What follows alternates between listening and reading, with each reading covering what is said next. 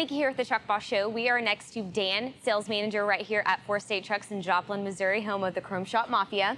Thanks for joining us today, Dan. You're welcome. Thanks for having me. Absolutely. So today we're going to talk about hood ornaments. These seem to be pretty popular amongst the truckers.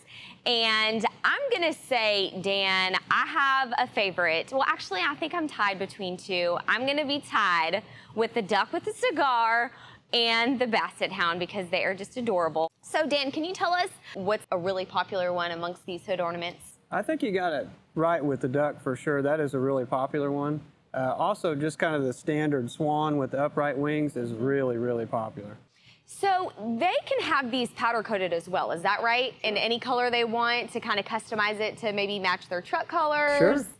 So price range, what are we talking, Dan? You're anywhere 35, 40 bucks all the way to $200. Wow. Well, these are really, really cool. And if you don't have one, you need to trick your truck out with the hood ornament. Four State Trucks can cover you and get you hooked up.